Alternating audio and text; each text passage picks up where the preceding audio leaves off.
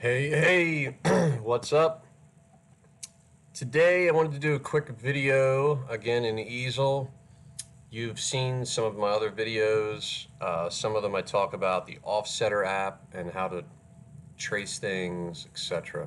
So today I wanted to talk about another way to make a uh, an outline of a shape.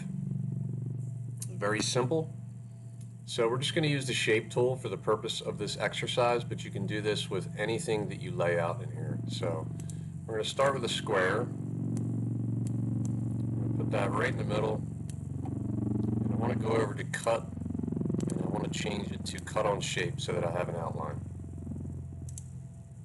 All right, so I'll give you a second to do that. Next shape that we're going to do is we're going to do a circle. So right off the start, I want to change that under the cut settings to cut on shape. I'm just going to put that in the corner here.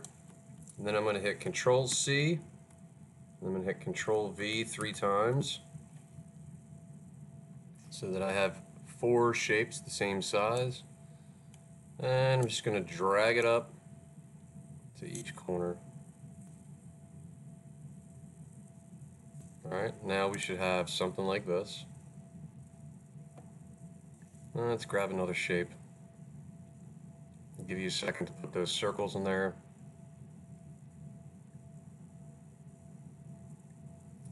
So then we're going to take a triangle, again, change it to cut on shape.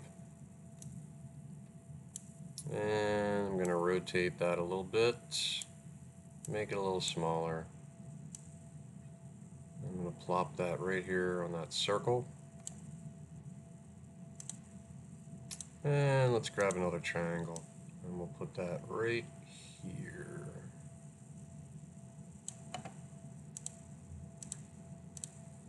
Alright, so now we've got a square, two triangles, a few circles in there. Now this is where it becomes real simple. You have seen me do the Offsetter app where it takes a outline impression of everything to the outer edge, which we could do here. But what we're going to do is we're going to hit Control A, that selects everything. We're going to go up to Edit, go down to where it says Combine. Once you click that,